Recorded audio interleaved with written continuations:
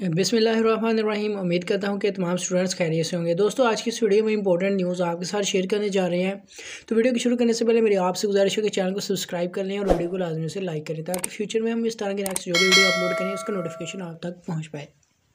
तो आज की इस वीडियो में मैं आपको एक दो इंपॉर्टेंट बातें बताने वाला हूँ। एग्ज़ाम से रिलेटेड जो कि ऑफिशियल नोटिफिकेशन आया है, वो मैंने आपके साथ शेयर करना है। इससे ऑलरेडी वीडियो में मैं आपको बता चुका हूँ कि आपके जो एग्ज़ाम्स हैं, कौन सी डेट को होने जा रहे हैं।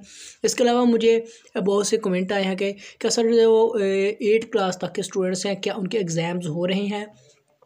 तो यहाँ पर जो मैं आपको बताते चलूँ कि मैं जो भी वीडियो अपलोड करता हूँ, मेरे पास प्रूफ होता है।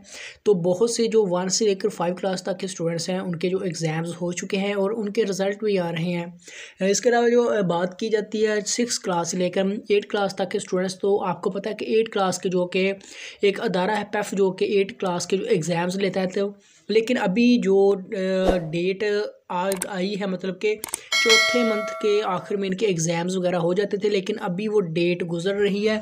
तो स्टूडेंट्स मैं आपको बताते चलो कि एक क्लास से लेकर जो आठवीं क्लास तक के स्टूडेंट्स हैं, इनके एग्ज़ाम्स अब मे बी मे बी लेकिन ऑफिशियल नोटिफिकेशन नहीं आया है। हो सकता है कि इनके जो एग्ज़ाम्स हैं वो ना हों।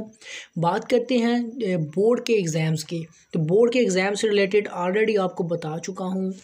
बार बार बताना अच्छा नहीं लगता, एक ही टॉपिक पर। तो मैं आपको सिंपली उसकी समरी बता देता हूँ कि जो बोर्ड की क्लासेस हैं, उनके जो एग्ज़ाम्स हैं टेंथ क्लास से जो स्टार्ट होंगे, वो मई के थर्ड वीक से स्टार्ट होंगे और एग्ज़ाम्स की जो डेट शीट है, वो पुरानी ही है, कोई न्यू डेट शीट नहीं आई है।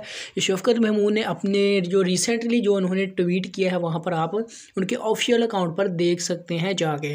इसके अलावा स्टूडेंट्स के क्वेश्चन आ रहे हैं क्या सर गेस्ट पेपर्स हमें बता दें? तो इस पर भी मैंने मैंने ऑलरेडी वीडियोस बना दी हैं गेस्ट पेपर्स की। जिसमें उन्होंने, मैं आपको बुक भी मैंने आपको एक दो रिकमेंड की थी, वो उन्होंने जो आपका स्मार्ट सिलेबस है उसको फॉलो करते हुए एक बहुत अच्छे गैस तैयार किए हैं। मैं उन गैस के बुक नेम जो है, जो बुक वो मैं आपको, मैं कमेंट को पॉइंट कर दूँगा तो आप वहाँ से देख सकते हैं। इसके अलावा स्टूडेंट्स का पेयरिंग स्कीम से मतलब क्वेश्चन है तो पेयरिंग स्कीम मैं आपको ऑलरेडी बता चुका हूँ कि इस दफ़ा आप पेयरिंग स्कीम को छोड़ दें, बल्कि आप अपनी तैयारी करें क्योंकि आपका सिलेबस स्मार्ट है। मे भी हो सकता है कि आपकी जो पेयरिंग स्कीम है, इस दफ़ा फॉलो ना किया जाए। और अगर फॉलो हुई भी तो जो आपकी ओल्ड पेयरिंग स्कीम है, उसी के मुताबिक पेपर बनेगा।